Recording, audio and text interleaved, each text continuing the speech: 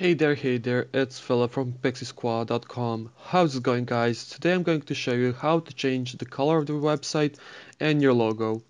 Okay, the first thing we need to do is go to Appearances, then click Customize.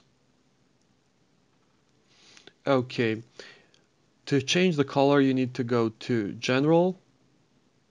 Okay, here you have the primary color, the logo image, and let's change the primary color now. Okay, hmm, let's set it to blue.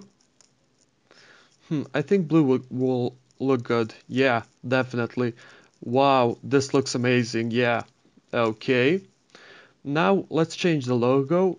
To change the logo, you click change image and let's select an image here because we have our default logo already. Okay, click choose image and you're done here. Okay, afterwards just click save and publish and that's that basically. This was Philip from PixieSquad.com and I will catch you again.